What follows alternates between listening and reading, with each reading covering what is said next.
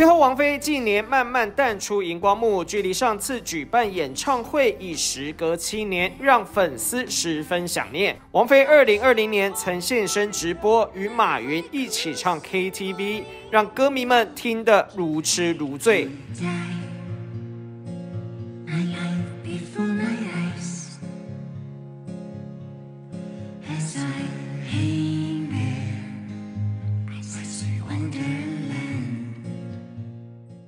而近日，网络上又流传一段王菲唱 KTV 的影片，那极具穿透力的歌声一出，马上引起网友热议。影片中，王菲连唱了《独上西楼》《我和春天有个约会》两首歌，虽然只有拍到 KTV 的一幕，但那极具特色的空灵嗓音，让网友大赞宝刀未老，纷纷留言。